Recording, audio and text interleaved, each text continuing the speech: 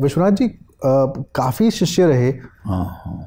आचार्य हजारी प्रसाद द्विवेदी के। हाँ। जिसमें सबसे प्रिय नामवर सिंह थे ये सब जानते हैं। जी हाँ जी कभी आपके मन में ये भाव आया कि नामवर जी को अधिक तवज्जो मिल रही है और विश्वनाथ त्रिपाठी को कम? नामवर जी सच्ची बात बोल रहा हूँ मैं कोई विनम्रता छद में विनम्रता में नहीं बोल रहा हूँ।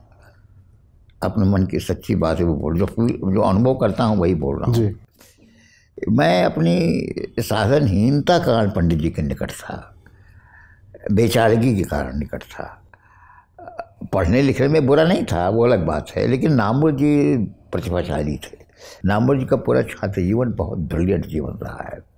इसलिए नामुर जी के प्रति आदर का ही भाव रहा, एक उनके प्रति एक बड़प्पन का ही भाव मेरे मन में रहा।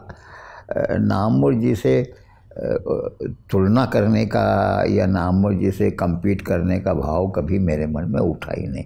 न उठ सकता था और उठता तो बड़ा गलत होता, अनुचित होता।